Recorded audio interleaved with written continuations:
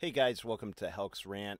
Uh, this is our third episode, and I decided to actually bring it back to video games and talk about, uh, well, what's been in the news lately, uh, the Nintendo Switch. So uh, we're, you know, the world has kind of gone crazy for the Nintendo Switch, and uh, understandably so. Uh, kind of, kind of the burying of the Wii U um, and the moving on uh, for Nintendo.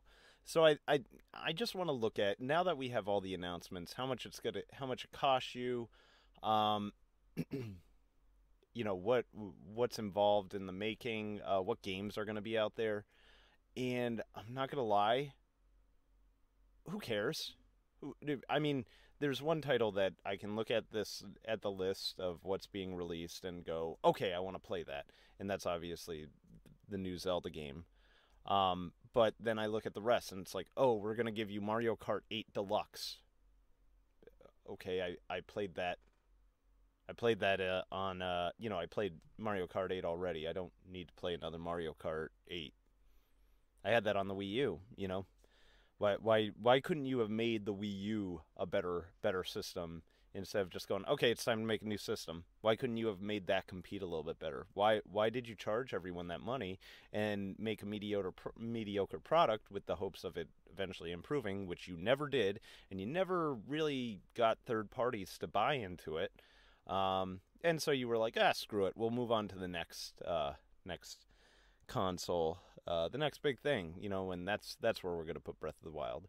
Um, and you know, you look at the other games. Okay, so uh, Minecraft, great.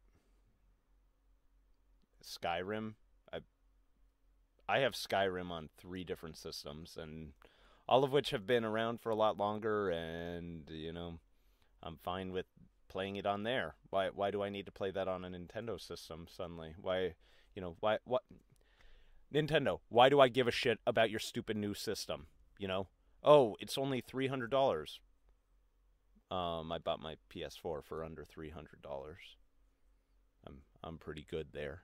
Um, I honestly think that that this is a company, and and Nintendo has always relied so so so much on their IPs like Mario and Zelda, Donkey Kong, uh, those those types of games to to really hold on to their their brand and everything and really move their product. And I mean, and it's not the same on their portable uh, devices such as the 3DS and everything, but on the console, if you're not playing a Nintendo game, it's like, why the hell are you playing it on the Switch? You know, why would you play it on the Wii U? Um, and there's really no reason at this point. Uh, you know, they're they're announcing I am Setsuna Setsuna uh, on the Switch. It, it, it's on Steam. It's on every other fucking system.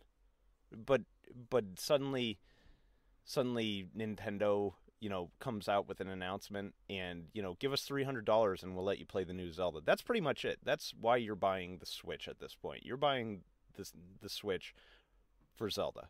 That's the only fucking thing you're buying it for. And I'm sick of Nintendo pulling this shit where they put a good title on a new system and then that's it. That's it. And it, it, the rest just look like just nothing. Who the fuck cares about another Elder Scrolls 5 Skyrim release? You know, I already have the special edition. I don't need that shit again. I can play it enhanced. You know? Be more creative with your releases. Another Mario Kart 8 release? Oh, the deluxe edition. Yeah, go fuck yourself, Nintendo. That's all I have to say. If you if you, Jesus Christ. If you like this, uh, please give it a like or, you know, give it a comment, whatever, you know, whatever the fuck you want.